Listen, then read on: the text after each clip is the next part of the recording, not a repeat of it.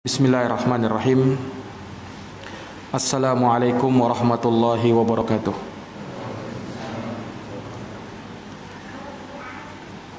Alhamdulillahi alamin.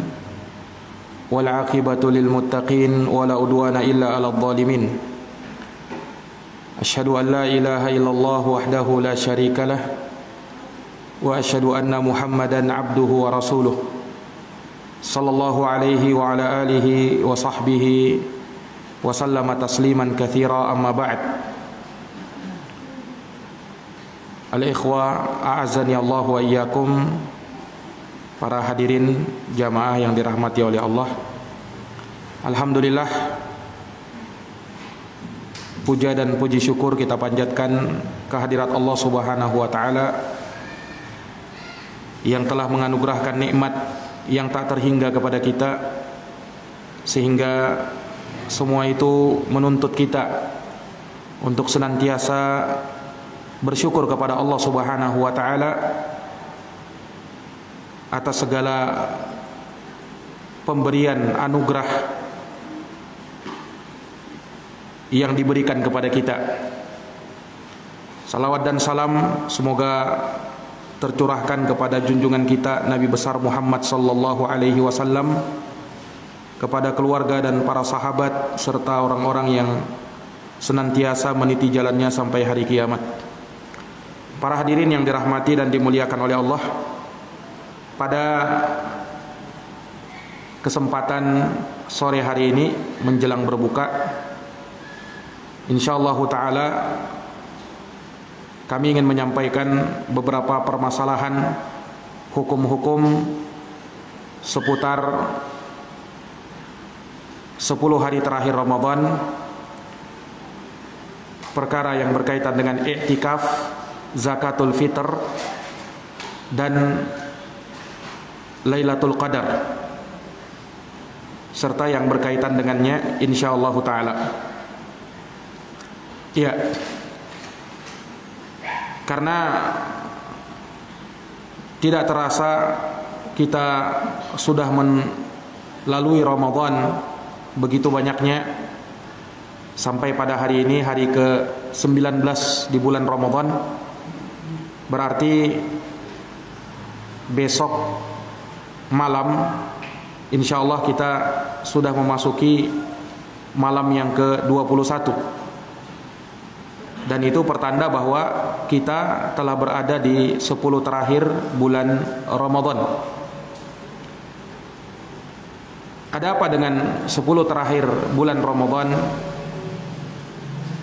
10 hari terakhir bulan Ramadan adalah hari-hari yang mulia yang lebih utama daripada hari-hari sebelumnya. Oleh karenanya dahulu para ulama as-salaf mereka mengagungkan 10 hari terakhir dari bulan Ramadan. Dikarenakan padanya ada keutamaan-keutamaan amalan dan juga di 10 hari terakhir itu terdapat malam yang disebut dengan Lailatul Qadar yang kita diperintahkan oleh Nabi sallallahu alaihi wasallam untuk mencarinya. Iltamisuha fil ashril awakhir min Ramadan. Carilah malam Lailatul Qadar di 10 hari terakhir dari bulan Ramadan. Makanya diriwayatkan bahwa Rasulullah sallallahu alaihi wasallam yajtahidu fil ashril awakhir ma la yajtahidu fi ghairihi. Beliau bersungguh-sungguh dalam menegakkan ibadah di 10 malam terakhir suatu hal yang beliau tidak lakukan seperti itu di malam-malam sebelumnya sebagaimana ini dalam hadis yang diriwayatkan oleh Imam Muslim. Maka di sana ada beberapa amalan yang hendaknya kita kuatkan di 10 hari terakhir Ramadan. Ya di antaranya adalah qiyamul lail. Ini yang sudah kita bahas hukum-hukumnya di pertemuan-pertemuan sebelumnya. Dan Nabi menjanjikan mangqama lailatul qadri imanan wa ihtisaban ghufira lahu ma taqaddama min dambih. Barang siapa yang berdiri di malam Lailatul Qadar karena iman dan mengharap pahala, maka diampuni dosa-dosanya yang telah lalu. Kemudian amalan kedua yang hendaknya kita kuatkan nanti di 10 hari terakhir Ramadan adalah tilawatul Quran. Iya, kalau kita mungkin di awal-awal Ramadan bahkan sampai pada hari ini kita disibukkan dengan tilawatul Quran, maka hendaknya di 10 hari terakhir kita lebih sibukkan lagi. Lebih tekunkan lagi di dalam membaca Al-Qur'anul Karim.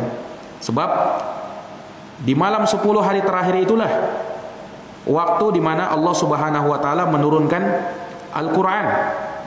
Sehingga lebih ditekankan untuk dibaca Al-Qur'an itu. Iya. Itu amalan yang yang kedua.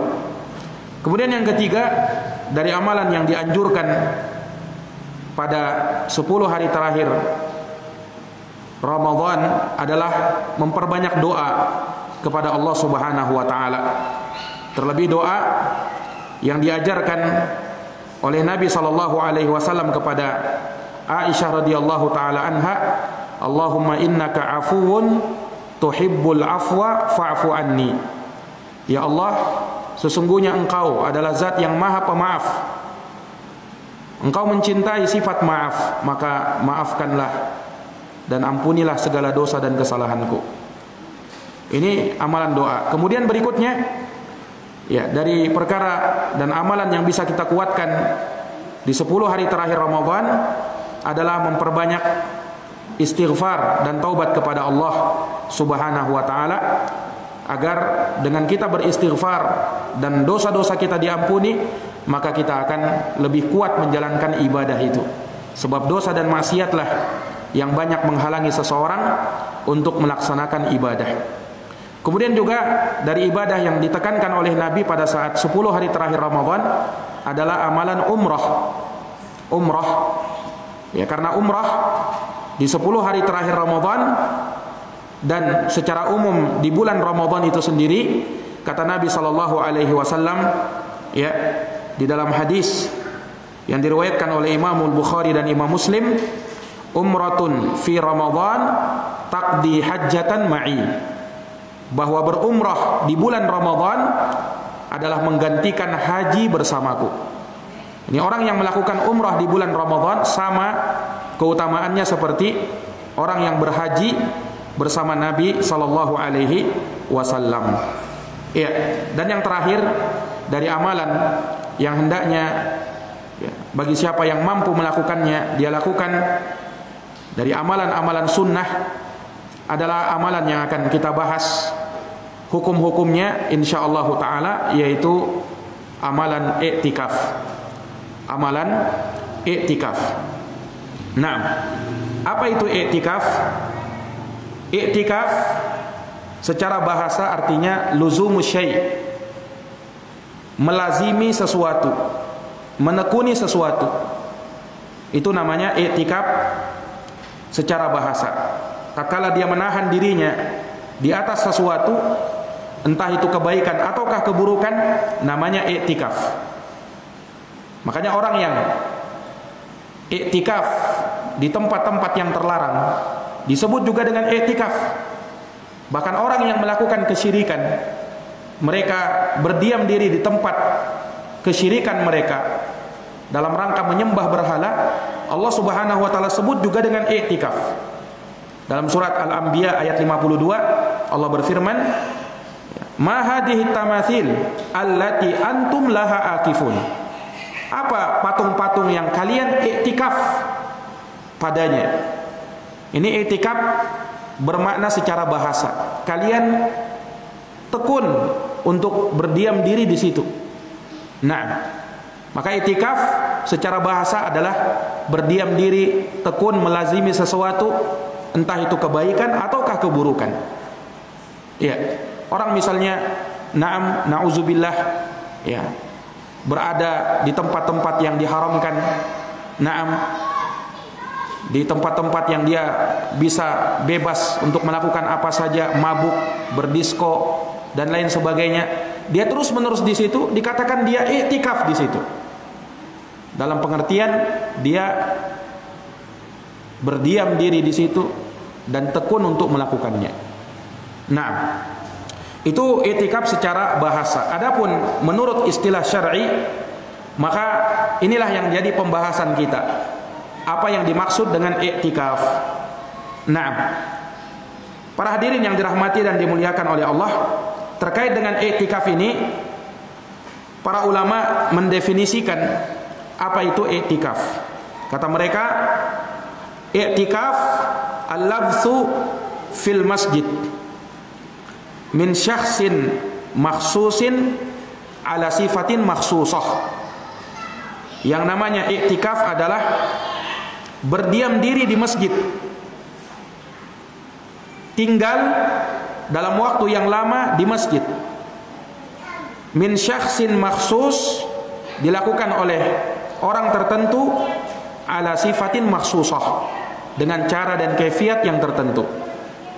Ini definisi iktikaf berdiam dan tinggal lama di masjid dari orang tertentu dengan tata cara dan kaifiat yang tertentu.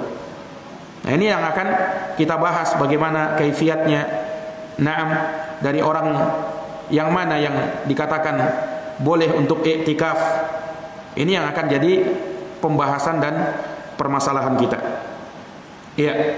Terkait dengan hukum iktikaf, ulama sepakat ulama bersepakat bahwa iktikaf hukumnya adalah masnunah. Hukumnya adalah disunnahkan. Bukan dari perkara yang diwajibkan, tapi dia perkara yang disunnahkan.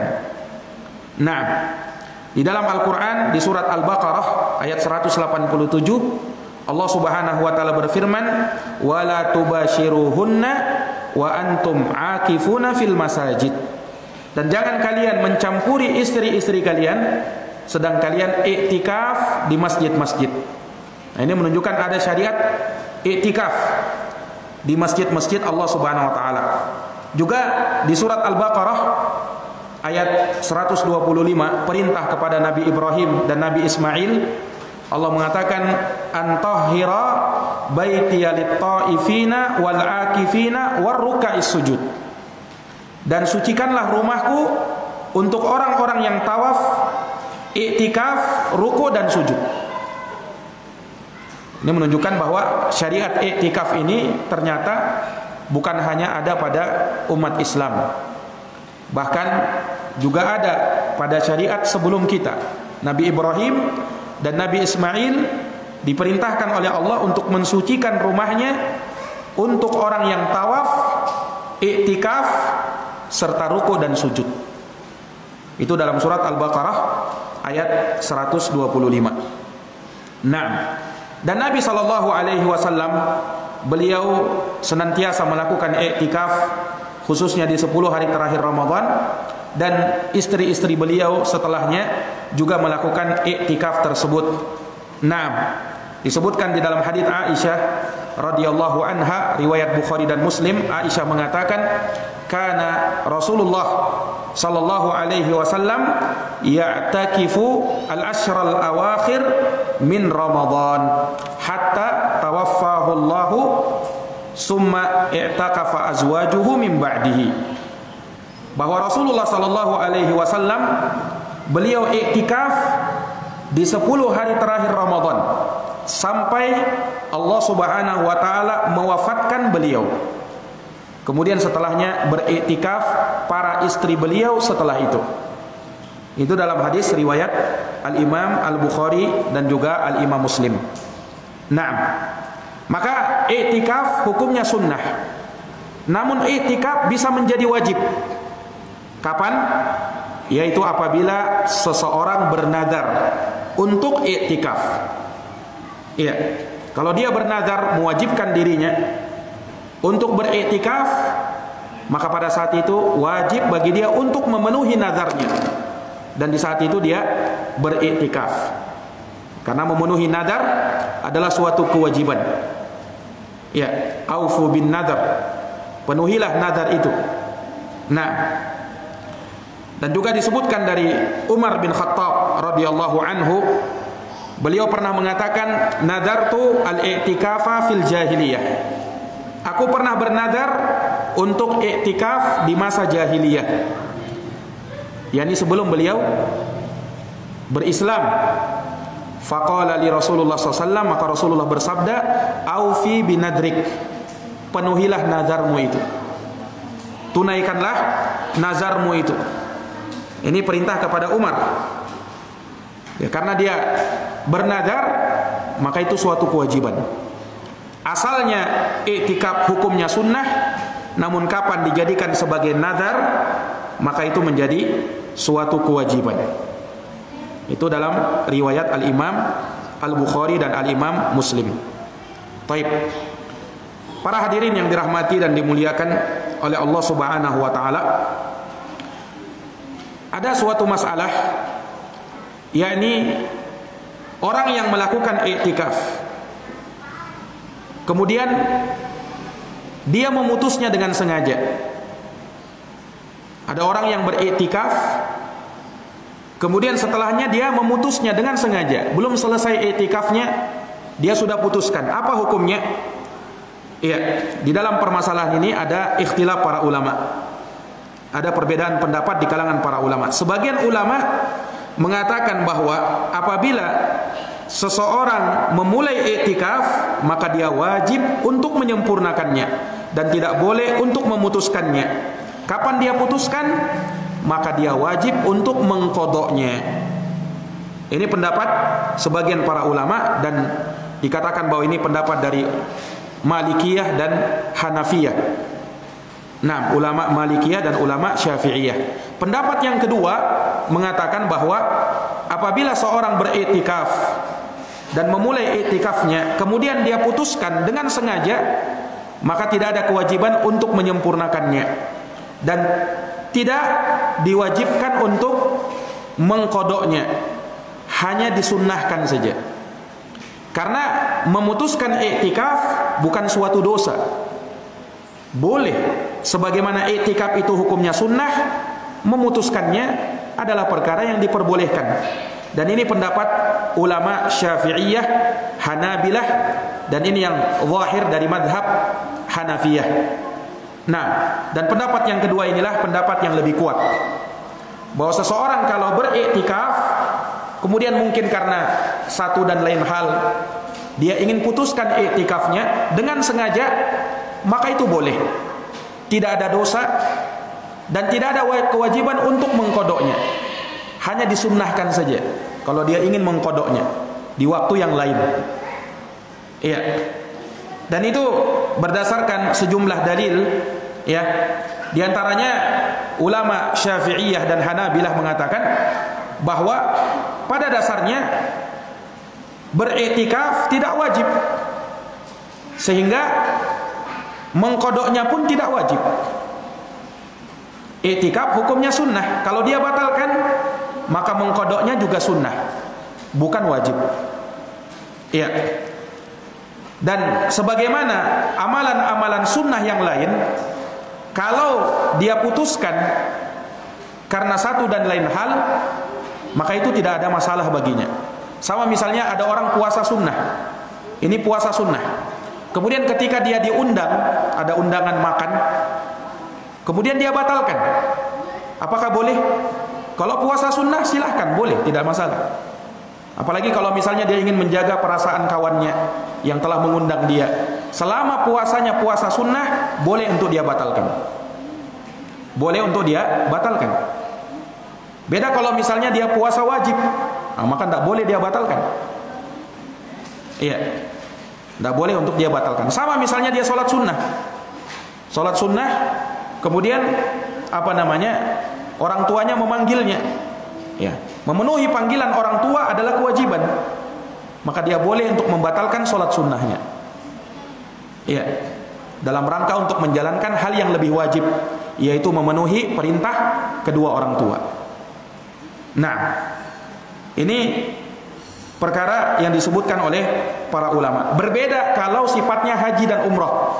Kalau haji sunnah atau umroh sunnah, maka apabila seseorang sudah memulainya maka tidak boleh dia memutuskannya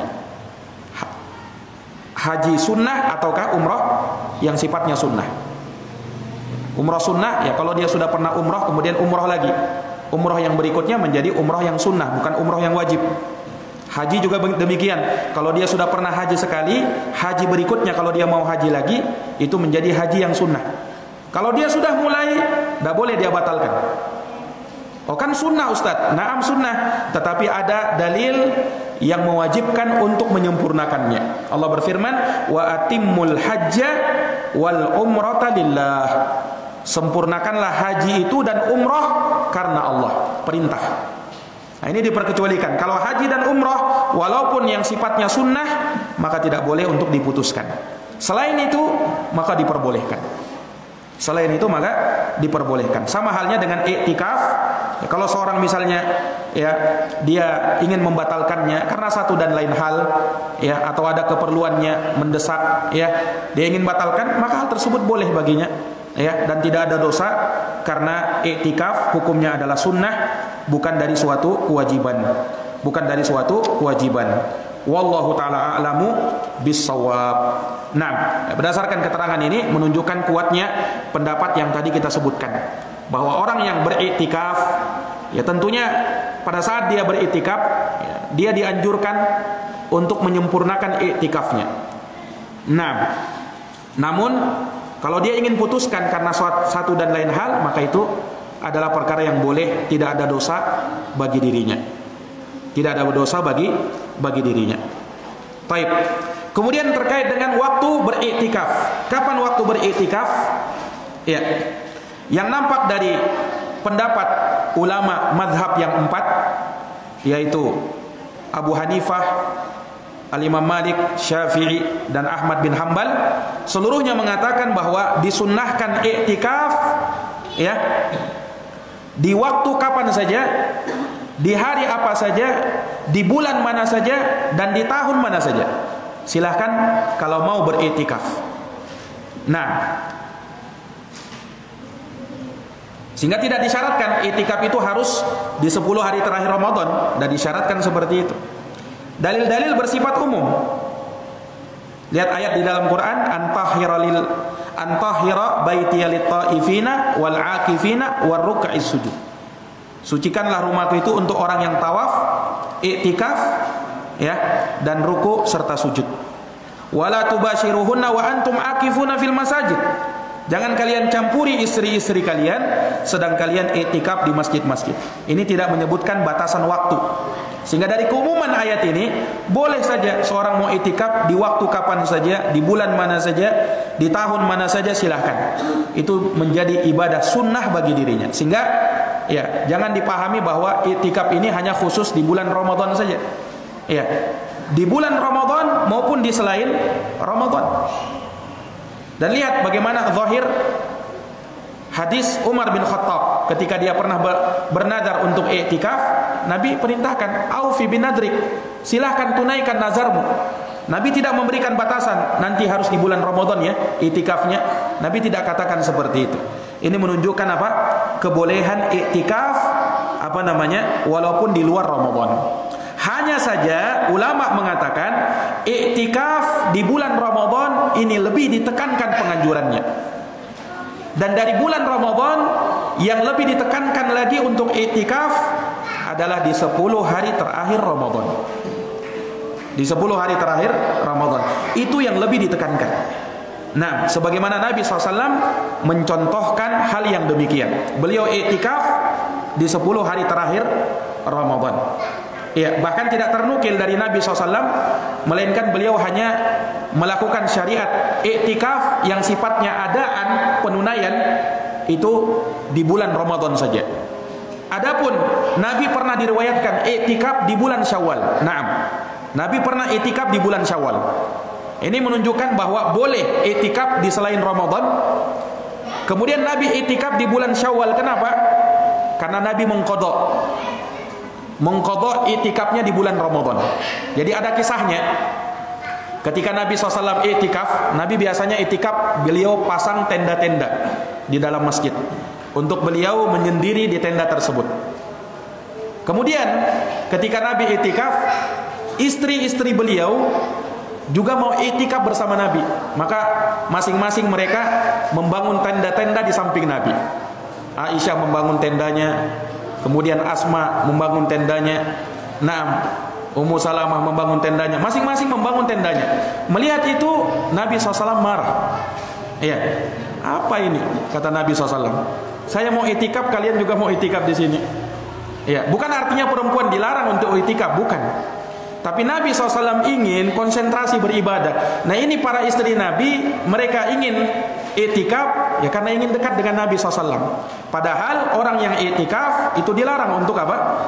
Sibuk dengan hal yang lain selain fokus ibadah kepada Allah Subhanahu Wa Taala. Maka Nabi pun mencabut tendanya, Nabi tidak jadi etikaf. Nabi tidak jadi etikaf. Akhirnya semuanya mencabut tendanya. Nah, ah, kemudian Nabi itikaf di bulan Syawal sebagai bentuk kodok. Nabi kodok, Nabi ganti itikafnya yang tadi di bulan Ramadan tidak jadi, Nabi itikaf di bulan di bulan Syawal. Nah, ini juga menjadi dalil sunnahnya mengkodok itikaf. Kalau misalnya tidak jadi itikaf. Iya. Nah, ini para hadirin yang dirahmati dan dimuliakan oleh Allah Subhanahu wa taala. Maka itikaf itu boleh di, di bulan mana saja, di tahun mana saja, di hari kapan saja, ya. Namun syariat yang paling ditekankan iktikaf di bulan Ramadan dan yang paling dikuatkan lagi adalah di 10 hari terakhir bulan Ramadan. Iya. Kemudian yang namanya iktikaf itu boleh bagi laki-laki maupun perempuan. Asalkan perempuan memang disediakan tempatnya untuk iktikaf. Iya. Ya karena perempuan para perempuan dia perlu menyiapkan uh, apa namanya hijabnya, kemudian hal yang bisa menutupi dirinya pada saat dia etikaf karena dia tinggal di masjid. Nah, maka memang harus disediakan tempat-tempat khusus bagi mereka kalau memang mereka ingin etikaf. Berbeda dengan laki-laki tentunya lebih bebas. Ya walaupun juga ada anjuran untuk membuat apa namanya tenda ataukah kemah-kemah ya yang dia bisa menyendiri di situ untuk beribadah kepada Allah Subhanahu wa taala. Nah, kemudian terkait dengan iktikaf baik bagi laki-laki maupun perempuan, ulama mengatakan bagi laki-laki tidak ada ikhtilaf para ulama, tidak ada perselisihan pendapat bahwasanya iktikaf bagi laki-laki tidak sah kecuali di dalam masjid. Harus di masjid. Nah, berdasarkan firman Allah wa antum akifuna fil masajid dan kalian iktikaf di masjid-masjid. Jadi syaratnya harus di masjid. Bagaimana surau? Ya surau ini kan penamaan saja, istilahnya saja. Jadi kalau ada masjid kecil, nah, dinamakan surau. Di tempat lain namanya musola. Di tempat lain namanya langgar. Ini istilah saja. Intinya kalau ada tempat ya digunakan untuk sholat yang memang dibangun di atas tanah wakaf, maka itu masjid. Itu mas, itu masjid. Walaupun orang menamakan itu langgar atau dinamakan dengan musola atau dinamakan dengan surau, itu boleh itikaf di situ. Oh, tidak digunakan sholat Jumat Ustaz. Nah, tidak digunakan sholat Jumat. Nanti kalau dia mau pergi Jumat, kalau dia mau sholat Jumat, dia keluar untuk pergi sholat Jumat. Ya, asalkan di masjid ya tersebut ditegakkan sholat lima waktu, ya, maka boleh untuk apa? Itikaf di masjid tersebut. Boleh untuk itikaf di masjid tersebut. Nah ini para hadirin yang dirahmati dan dimuliakan oleh Allah Subhanahu wa taala. Berbeda di musola-musola yang ada di perkantoran. Nah, itu tidak boleh itikaf di situ. Karena memang bukan dibangun di atas tanah wakaf, tidak boleh. Atau misalnya musola-musola ya uh, di tempat-tempat pembelanjaan misalnya. Kadang ada apa namanya uh, musola-musola kecil dia bangun. Atau misalnya musola yang dia bangun biasanya terkadang ada rumah-rumah dia bangun musola kecil khusus untuk dia sholat. Dia jadikan itu musola. Boleh tidak itikaf di situ? Tidak boleh. Karena memang bukan dibangun untuk ya orang umum bisa sholat di situ. Jelas ini? Nah ini para hadirin yang dirahmati dan dimuliakan oleh Allah Subhanahu wa taala. Adapun iktikaf bagi wanita, ya ulama berbeda pendapat. Kenapa? Karena perempuan ini beda dengan laki-laki. Kalau laki-laki kan memang disyariatkan sholat di masjid. Afdolnya di masjid. Utamanya di masjid. Bahkan sebagian mengatakan wajibnya di masjid. Nah, berbeda dengan perempuan. Perempuan utama bagi mereka sholatnya di rumah. Iya. Nah sekarang kalau perempuan mau itikaf, apakah mereka boleh itikaf di rumah-rumah mereka? di tempat musola yang mereka bikin di rumah-rumah mereka? Atau harus di masjid? Ulama beda pendapat dalam hal ini. Yang kuat dari pendapat para ulama dan ini pendapat mayoritas jumhur ulama bahwasanya bagi perempuan juga tidak sah iktikaf kecuali di masjid umum. Di masjid yang manusia sholat di situ. Entah masjidnya besar atau masjidnya kecil jelas ini nah asalkan manusia sholat jamaah di sana tidak disyaratkan harus sholat jumat tidak disyaratkan masjid yang tempat kita itikaf harus ditegakkan sholat Jumat. Tidak disyaratkan. Boleh walaupun di masjid yang tidak ditegakkan sholat Jumat. Ya, yang penting ditegakkan sholat jamaah di sana. Itu yang penting. Karena kalau sholat Jumat dia masih bisa keluar untuk sholat Jumat. Orang yang itikaf boleh keluar untuk sholat Jumat. Setelah dia sholat Jumat dia kembali lagi ke tempat itikafnya. Nah, ini para jamaah sekalian yang dirahmati dan dimuliakan oleh Allah Subhanahu wa taala. Dan yang terakhir yang insya Allah kita akan bahas pada uh, pertemuan ini terkait dengan iktikaf ya. Seorang boleh masuk untuk iktikaf ketika dia ingin iktikaf di 10 hari terakhir Ramadan, dia masuk di malam ke-21 sebelum matahari terbenam. Sebelum apa? Matahari terbenam di hari ke-20. Masuk malam ke-21. Jadi kalau misalnya sekarang ya, sekarang kan malam 20 ya, masuk malam 20, berarti besok. Kalau ada yang mau pengen etikaf, nah, sore hari dia sudah memang berada di masjid. Supaya pas matahari terbenam, dia apa? Berada di masjid. Di situlah dia niat etikaf sudah. Di situlah dia niat etikaf. Nah, dan dia masuk tendanya nanti di subuh hari. Kalau dia bikin tenda, nanti dia masuk tendanya kapan? Di subuh hari. Ya, dan selesai itikaf kapan? Selesai itikaf dengan selesainya Ramadan. Masuknya malam satu Syawal. Selesai sudah itikaf. Boleh untuk kelu keluar. Kalau dia ingin itikafnya sampai 10 hari. 10 hari terakhir bulan Ramadan. Nah, demikian para hadirin yang dirahmati oleh Allah, uh, pembahasan terkait dengan etikaf dan masih ada lagi pembahasan-pembahasan yang lain yang belum kita singgung, kita akan jabarkan, kita akan jelaskan di pertemuan yang akan datang biidznillah taala. Wallahu taala alam bisawab. Lebih dan kurangnya mohon dimaafkan. Hadanallahu wa iyyakum ajmain. Subhanakallahumma wa bihamdik asyhadu an la ilaha illa anta astaghfiruka wa atubu ilaik. Walhamdulillahi rabbil alamin. Wassalamu alaikum warahmatullahi wabarakatuh.